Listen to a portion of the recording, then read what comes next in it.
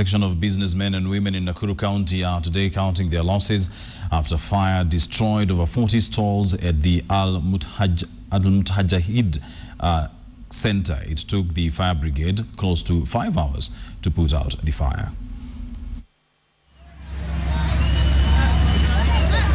Helplessly, a section of entrepreneurs in Nakuru town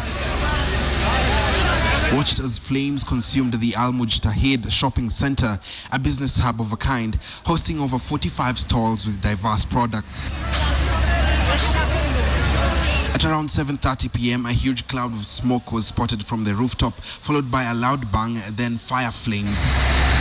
But while the county's fire brigade swiftly made their way to the scene, it is reported that they were forced to hire water services. clean water.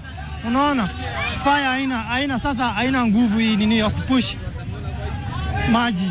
Ni aibu sana kwa kaunti kama hii kukuwa na zimamoto moja eh, na watu wa zimamoto hawatoshi, watu wawili tatu, mtakana wakuwe wengi eh, watu wengi wenye wana ujuzi, watu karibu mia na kitu na gari kama kumi hivi ikiwezekana. Hii kaunti ni kubwa. Adjacent to the flaring building, a section of crowd watched on, most of whom were alleged to be seeking for looting opportunities, but the heavy presence of police officers steered them away. The damage is very big. At the, mo- at the moment, we can't talk about the, the, the amount involved. The cause of the fire is yet to be established as police launched investigations into the scene. Ian Wafula, KTN.